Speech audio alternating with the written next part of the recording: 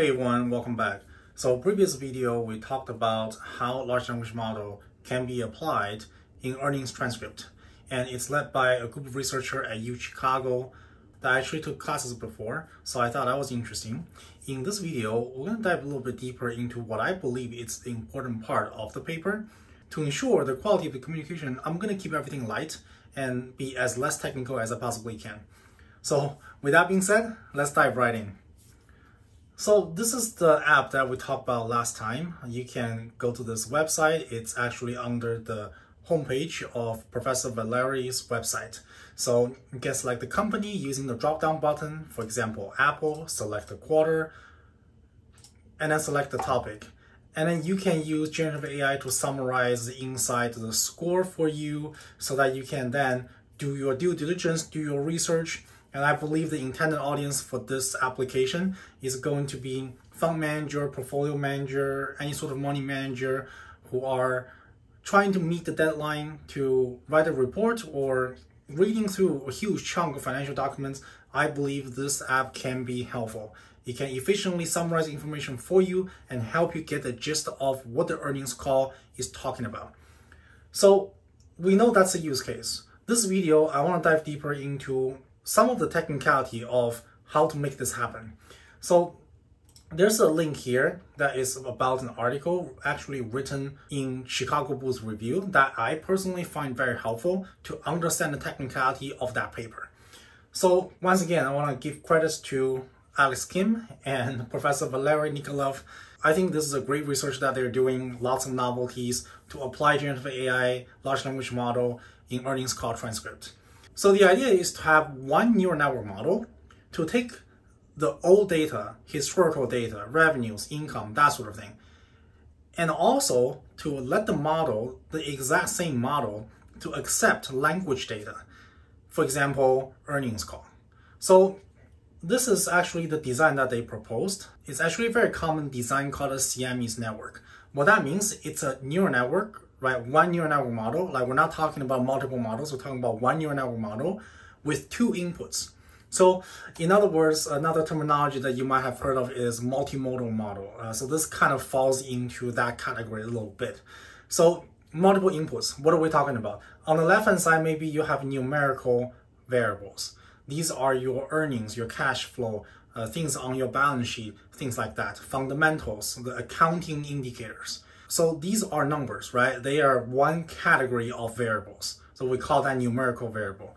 And then you have the other category of variables that are the text-based languages. Uh, these can be your MD&A section that you're reading from a financial statements, annual report, 10K, 10Q, or it could be earnings call transcript.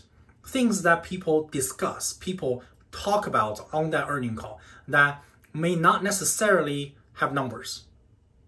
So those are the two groups of variables that we're talking about, numeric or contextual. So now the question is simple. How do we build a model that take both groups of input and then have the model to make some predictions? So in the end, the outlier here has two neurons that predicts whether the future earnings is going up or down right? Earnings is one thing. Of course, you can look at stock return. That's probably uh, another thing that's more interesting, right? So once again, based on the numerical numbers, based on the contextual numbers, what can the neural network model tell us about the future stock return? Going up, down, you know, that sort of thing. So that's the idea, right? But why is this interesting? Why is this the design? Why can't we just do them separately? So this is where the novelty of this paper is and why I think this is interesting. So apparently they've done their due diligence. They built two types of models. This one type of model is partially connected, meaning that you have a set of layers that's only reading the numerical input, and you have sets of layers that's only reading the contextual one. So you can color code them the blue and the pink. And then in the end, maybe make some predictions.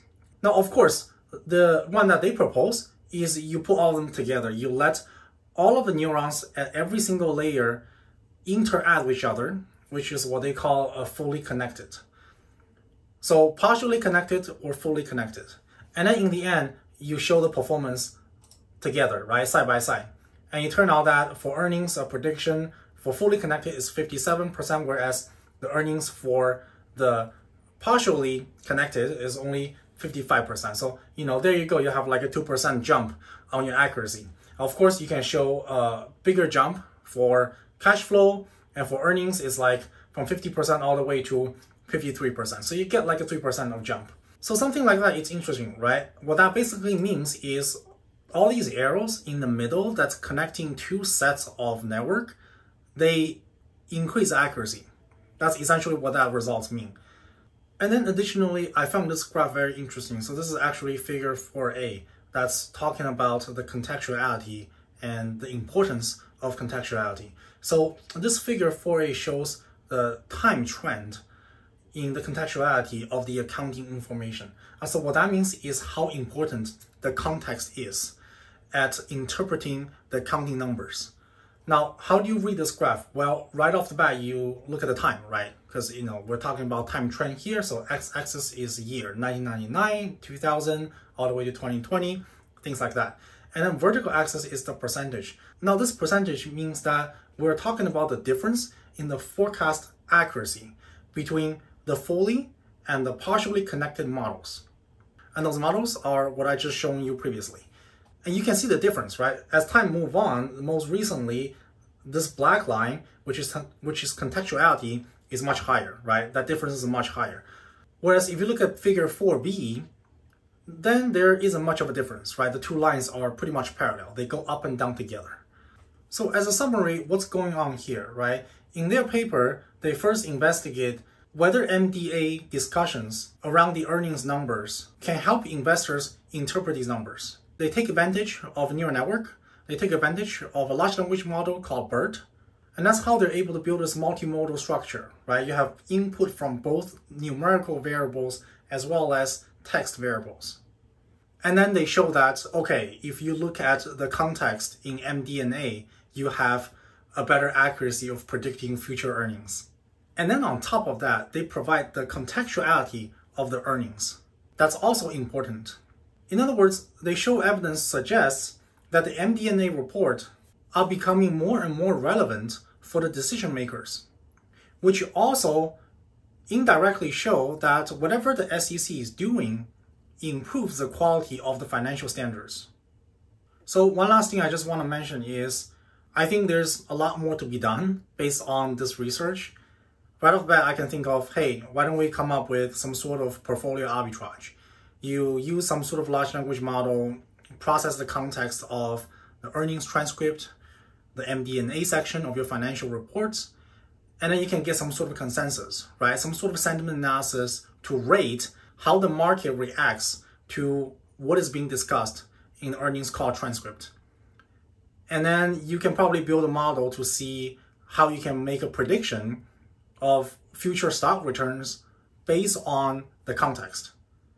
And since you have that forecast of future stock return up or down, right, that gives you the probability, use that probability to sort your stock universe, and you buy the top quintile, short sell the bottom quintile, and you make a portfolio arbitrage. Now, of course, I'm saying this right now. I'm sure some people out there has probably already done it. And we'll have to wait to see if anyone can successfully publish a paper in that arena. So with that being said, hope you like it, and I'll see you in the next episode.